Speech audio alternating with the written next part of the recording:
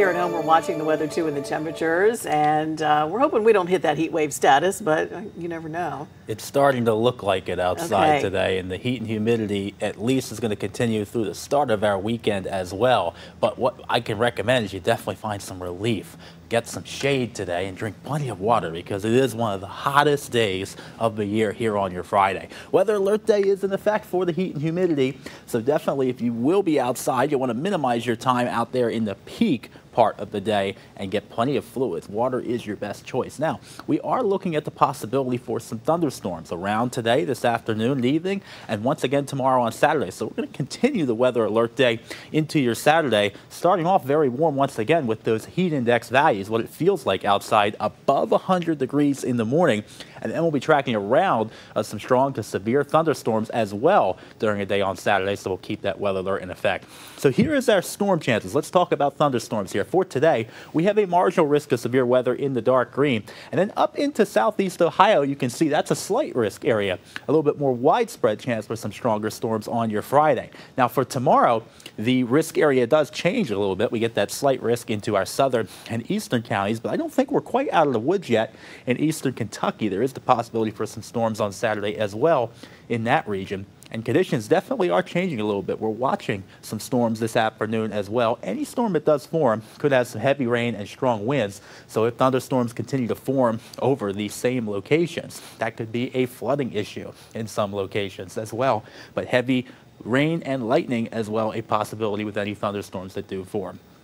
All right, so here's a look at our radar and satellite. Right now, things are okay. A couple showers in our northern counties, but we are watching a developing line of storms into parts of Ohio. I pointed out to you here not too long ago. And some of these do look strong across that area, and it will be making its way into our viewing area within the next hour or so. It's fast moving. It's not going to be all that slow. It'll be actually blazing in through here pretty quickly. Now, notice there are a few warnings in Ohio, a severe thunderstorm tornado warning up there. That's also the higher risk area, which is what I just talked about. So we'll watch this line develop. There is a chance for one or two of these storms to be on the strong side as it makes its way in. And continuing to have high pressure and the heat and humidity it is on for today, that could definitely fuel a fast moving round of showers and storms across our region. So let's look at our future cast.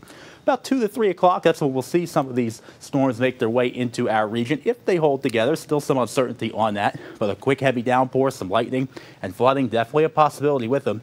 And then heading in the afternoon, still remaining warm and humid. Temperatures in the 90s, heat index values near 100 with the sunshine, and it'll be very sticky even after those shower and storm chances. So heading into this evening, we'll look for some more heavy downpours into Kentucky. Flooding is a possibility with some of these, but again, these are the slower moving ones. They come outside the peak heating of the evening. So heading into tomorrow for Saturday, things look good early, but it'll be very, very hot. Perhaps a few showers in the morning. That could help to reduce our temperatures just a little bit by the afternoon, but still very sticky and humid, feeling like 100 degrees or more ahead of our next round of storms. And these could have some gusty winds with them as they move eastward.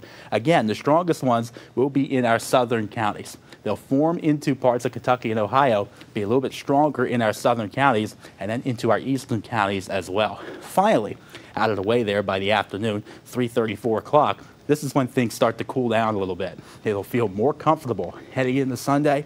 Maybe a few showers in the early morning, but the rest of Sunday looks pretty good. The afternoon, more comfortable and warm, but not too humid, into the 80s, and a little bit of relief from this summertime heat that we've had the past few days outside. So Sunday will be a little bit more refreshing out there, and maybe still a spotty shower late night into Monday as well. And that seven day forecast, it looks pretty good after our weekend of weather alert for heat and humidity and those storms. Look at next week into the 80s. More normal for this time of the year and not too humid outside. Plenty of sunshine as well ahead of a spotty shower or storm there come Wednesday night and Thursday.